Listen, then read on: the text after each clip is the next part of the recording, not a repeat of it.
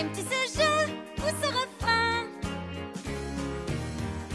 Tu te rends compte qu'à ses côtés, tu te sens bien.